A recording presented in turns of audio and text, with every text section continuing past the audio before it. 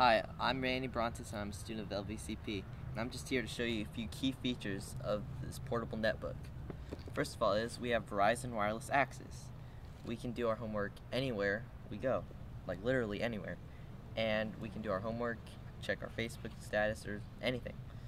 Um, the next thing is it's portable, it's way better than textbooks, six or seven heavy textbooks. I have all my classes on here, history, biology, everything. I just do my read and then switch over a tab and write down my answers. It's excellent. Um, another great thing is we can take digital music classes.